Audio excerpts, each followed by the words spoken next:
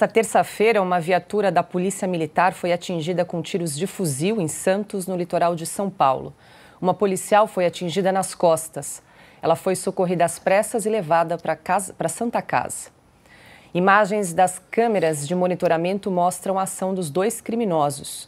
Eles saem de um carro segurando armas de grosso calibre e atiram contra a viatura. Em seguida, a Polícia Militar iniciou uma operação no Morro São Bento para tentar encontrar os responsáveis por atirar na policial. Na troca de tiros, um suspeito foi baleado e morreu. As operações policiais se intensificaram na Baixada Santista depois da morte do soldado da rota Patrick Bastos Reis na última quinta-feira. Ao todo, 13 pessoas já morreram em confronto armado com a polícia. Silvio.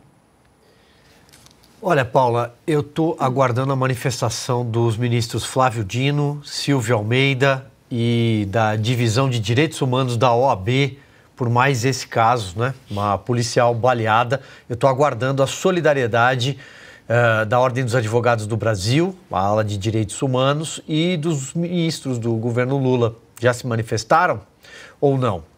Ou continuam dizendo que a reação da polícia é desproporcional? Hoje é terça-feira, dia 1 de agosto, e um policial é baleado no litoral. Aliás, foram dois policiais baleados. Já há mais um relato de policial é, alvejado na região do litoral paulista. Tudo isso acontecendo porque o crime dominou aquela região, especialmente os morros no Guarujá, inclusive com características do Rio de Janeiro, similares do Rio de Janeiro. Eles atiram de cima para baixo contra viaturas da polícia, contra a farda, contra um homem, um pai que tem filhos, que tem esposa, que tem mãe, que está lá usando uma farda para defender a sociedade. Justamente defender desses criminosos.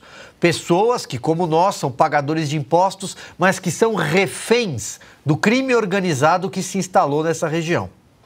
E o, os ministros do governo Lula já se manifestaram em solidariedade ou ainda não?